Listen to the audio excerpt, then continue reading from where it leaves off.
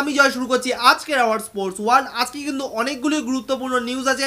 তার মধ্যে কিন্তু আছে, চেন্নাই সিটি কি খেলবে এবার আইএসএল? চার্চিল ব্রাদার্স খেলবে এবার আইএসএল? কিন্তু খেলবে না একদমই ইস্ট বেঙ্গল আইএসএল। কারণটা কি এবং মোহনবাগানের গুরুত্বপূর্ণ কিছু আপডেট আর তার সাথে ফুটবলের অনেক তথ্য। তো পরপর তোমাদের সাথে শেয়ার করব। তো প্রথমেই চলে আসি চেন্নাই সিটির কথায়। চেন্নাই সিটি কিন্তু রিউমার শোনা যাচ্ছে চেন্নাইয়েন এফসি মানে আইএসএল এর যে দল, তার সাথে টাই আপ হতে পারে।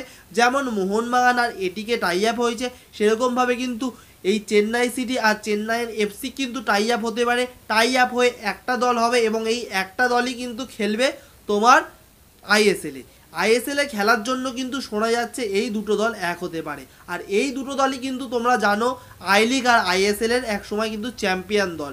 তো আশা করা যাচ্ছে এই যদি টাই আপটা হয়, তাহলে কিন্তু খুবই ভালো হবে। এবার চলে আসছি চার্চিল ব্রাদার্সের কথায়। চার্চিল ব্রাদার্স কি এবার সত্যি আইএসএল খেলবে? অনেকটা কিন্তু শোনা যাচ্ছে একই। চার্চিল ব্রাদার্সের অন্যতম কর্ণধর কিন্তু বলল আইএসএল খেলার জন্য তারা কিন্তু খুবই আগ্রহী। এবং এই জন্য কিন্তু যে টাকাটা প্রয়োজন, সেই টাকাটার জন্য কিন্তু তারা বিদেশ থেকে বিভিন্ন স্পন্সর খুঁজছে। হ্যাঁ এই স্পন্সর পেয়ে গেলেই কিন্তু চার্চিল ব্রাদার্স আইএসএল এর নামবে মঞ্চে। কিন্তু আইএসএল এর যখন মঞ্চে নামবে, তাহলে কি এটা ভাবছ যে আইএসএল এ যেহেতু চার্চিল ব্রাদার্স গোয়ার টিম তাহলে গোয়ারও একটা, গোয়া এফসিরও একটা টিম আছে, তাহলে কি গোয়ার সাথে কি চার্চিল ব্রাদার্স এক হচ্ছে? একদমই না। চার্চিল ব্রাদার্স সম্পূর্ণ আলাদাভাবে আইএসএল নামার চেষ্টা করছে, চার্চিল ব্রাদার্স নাম নিয়েই। এবং যখন তারা আইএসএল রিপ্রেজেন্ট করবে চার্চিল ব্রাদার্সকে, তখন কিন্তু নাম হয়ে যাবে হয়তো South Churchill. South Churchill FC এরকম নাম নিয়েই কিন্তু চার্চিল ব্রাদার্স আইএসএল নামতে পারে।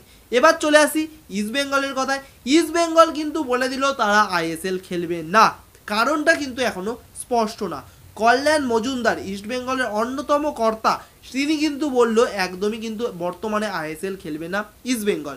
মোহন, তাকে যদি জিজ্ঞেস করা হয়েছিল, মোহনবাগান তো আইএসএল খেলছে, তাহলে কি ইস্ট বেঙ্গল কেন খেলবে না? বলছে, মোহনবাগান খেললেই কি ইস্ট বেঙ্গলের খেলতে হবে, এমন কোনো কথা আছে?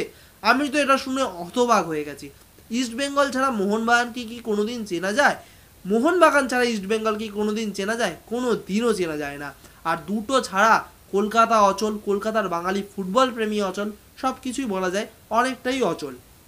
জানি না ইস্ট বেঙ্গল কর্তা এরকম কীরকমভাবে এই বাজে বক্তব্যটা করল। আমি এটা কিন্তু একটা বাজে বক্তব্যই কিন্তু বললাম। তোমাদের যদি এটা খারাপ লাগে বা ভালো লাগে, অবশ্যই কিন্তু কমেন্ট করে জানিয়ে দিও। আর এবার চলে আসব রঞ্জিত বাজাজের কথায়। রঞ্জিত বাজাজকে নাকি এবার সরাসরি ম্যাচ কমিশনার হুমকি দিল, হত্যা করবে। এর কারণটা কি? এর কারণ যদি জানতে চাই, তাহলে যেতে হবে ঠিক আমাদের এক বছর পেছনে।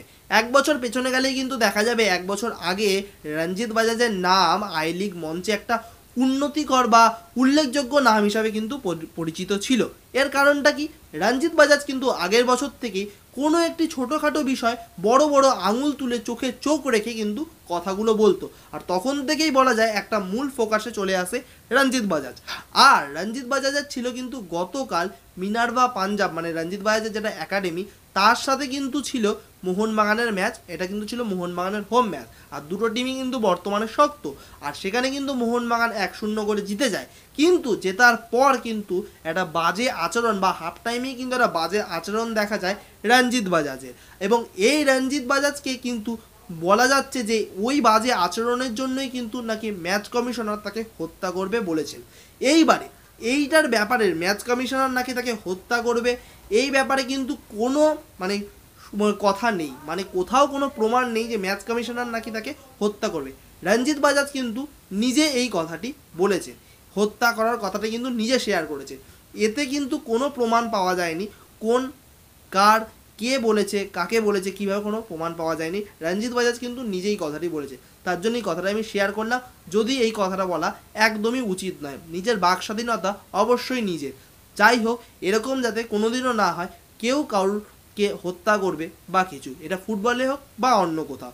যাই হোক, এবার চলে আসি গোয়ার কথায়। এফসি গোয়া কিন্তু একটা ইন্টারন্যাশনাল লেভেলের স্পন্সর পেতে চলেছে। সেই স্পন্সরের নাম রেডবুল হ্যাঁ রেডবুল যেন কতটা ইন্টারন্যাশনাল লেভেলের স্পন্সর নেক্সট সিজনের জন্য কিন্তু রেডবুল হতে পারে most of the important sponsor of Goa যাই হোক এফসি গোয়া আরও উন্নতির পথে এগিয়ে যাক, এটাই আশা করব। চলে আসব মোহনবাগানের খবরে। মোহনবাগান কিন্তু চোদ্দ তারিখ মুখোমুখি হচ্ছে নেরোকার সাথে। ভালোবাসার দিনে আর ভারতীয়দের জন্য খুব খারাপ দিনই বলা যায়। যাই হোক, সেই ব্যাপারে আসছি না, চোদ্দ তারিখ কিন্তু মুখোমুখি হচ্ছে নেরোকা ভার্সেস মোহনবাগান। আর সেখানে কিন্তু মোহনবাগান অনেকটাই এগিয়ে আছে, যেহেতু তারা পয়েন্ট টেবিলে একদম সর্বোচ্চ তুঙ্গে, আর পয়েন্টটাও কিন্তু অনেকটাই বেশি। আর নেরোকা কিন্তু রয়েছে বর্তমানে দশ পয়েন্টে আর মোহনবাগানের জন্য একটা সুখবর আছে, সেই খুব সুখবরটা এখন দেবো না পরের ভিডিওতে। যাই হোক, আজকের মতন টাটা। ভালো থাকো, সুখে থাকো, খেলতে থাকো ফুটবল, সাথে সব খেলাও।